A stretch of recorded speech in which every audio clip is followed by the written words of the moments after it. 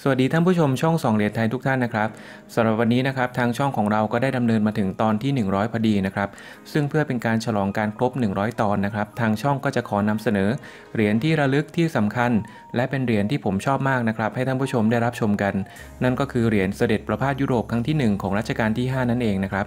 ก่อนที่จะไปรับชมการดูตำหนิเหรียญแท้เหรียญปลอมกันนะครับผมก็จะขอกล่าวสั้น ๆ เกี่ยวกับที่มาที่ไป ของเหรียญที่ระลึกอันแสนสำคัญทางประวัติศาสตร์เหรียญนี้กันก่อนนะครับ สาเหตุของการเสด็จประพาสยุโรปนะครับเกี่ยวเนื่องกับเหตุการณ์รอสอ112 ตรงกับพศ 2436 นะครับซึ่งตอนนั้นฝรั่งเศสจ้องจะยึดสยามเป็นอาณานิคม ก็ได้หาเหตุให้เกิดความขัดแย้งกันขึ้นนะครับโดยทางฝรั่งเศสส่งเรือรบสองลำ และเรือนำร่องนะครับแล่นเข้ามาในปากแม่น้ำเจ้าพระยา ทหารที่ประจำป้อมพระจุลจอมเกล้าทำการยิงดินเปล่านะครับเป็นสัญญาณเตือน 3 นัด ให้ถอยกลับไป แต่กองเรือฝรั่งเศสก็ยังคงลุกล้ำเข้ามา ทหารบนฝั่งจึงยิงด้วยกระสุนจริงนะครับ แต่ตั้งเป้าให้ลูกปืนตกคล่อมหัวเรือไปนะครับ หลังการประทะทหารเรือไทยเสียชีวิต 8 นาย สามารถยิงให้เรือนำร่องเยเบเซท้องทะลุได้ ต้องแล่นไปเกยตื้นนะครับ และทหารฝรั่งเศสตาย 3 นาย แต่เรือฝรั่งเศสอีก 2ลำยังคงแล่นทวนน้ำเข้า พระนครต่อไปได้นะครับ สุดท้ายสยามต้องเสียค่าชดเชยให้ฝรั่งเศสเป็นจำนวนเงิน 3 ล้านฟรัง โดยต้องจ่ายทันที และเสียพื้นที่บริเวณแม่น้ำโขงประมาณ 143,000 ตารางกิโลเมตร ให้กับฝรั่งเศสไป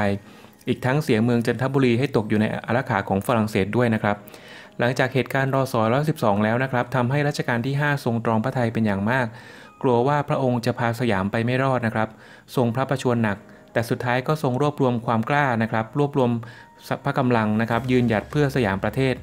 ทรงเรียกข้าราชบริพารทั้งที่เป็นคนสยามและเป็นคนต่างประเทศนะครับ มาเพื่อวางแผนดำเนินยุทธวิธีทางการทูตที่ถึงกับเขย่าสมดุลโลกในขณะนั้นเลยก็ว่าได้นะครับ ก็คือการเสด็จเยือนประพาสยุโรปนั่นเองครับ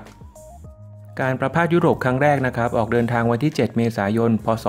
2440 นะครับ หรือว่า 4 ปีหลังเกิดเหตุการณ์รศ112 นั่นเองนะครับ จนถึงวันที่ 16 ธันวาคมปีเดียวกัน รวมระยะเวลา 8 เดือน 9 วัน โดยออกเดินทางไปยังประเทศต่างๆ โดยมีเป้าหมายสุดท้ายคือประเทศฝรั่งเศสนะครับ โดยช่วงแรกประเทศฝรั่งเศสปฏิเสธที่จะต้อนรับสยามด้วยซ้ำแต่เมื่อรัชกาลที่ 5 ทรงเสด็จไปรัสเซียนะครับ และได้ถ่ายรูปร่วมกับพระเจ้าซาร์นิโคลัสที่ 2 นะครับ พระเจ้าซาได้ส่งรูปที่ถ่ายด้วยกันนะครับ ไปตีพิมพ์ทั่วยุโรปเลยครับทำให้คนยุโรปต้องการเห็นพระมหากษัตริย์ไทย พระนามคิงจุลาลงกรณ์เป็นอย่างมาก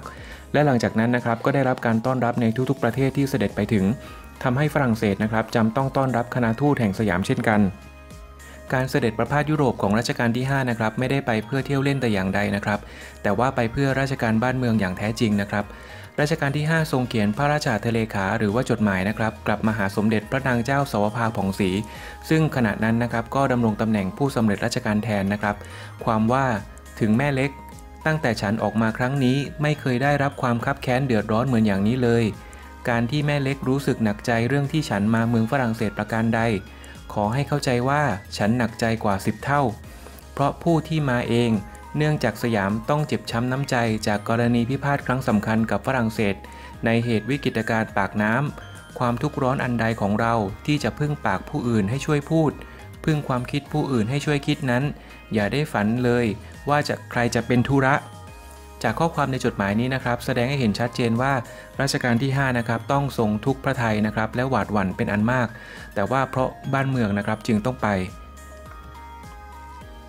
เหรียญที่ระลึกนะครับ พระองค์ท่านไปนั่งเป็นแบบให้ในายช่างเอกแห่งกรุงปารีสนะครับ ชื่อว่าองรีออกุสจูปาตีนะครับ หรือเรียกสั้นๆว่าออกุสปาตีนะครับ เป็นคนปั้นแบบออกมานะครับ นักสะสมและนักประวัติศาสตร์หลายท่านเชื่อว่า สาเหตุที่รัชกาลที่ 5 ทรงให้ประเทศฝรั่งเศส ซึ่งเป็นประเทศคู่พิพาทเป็นคนสร้างเหรียญเสด็จประพาสยุโรปให้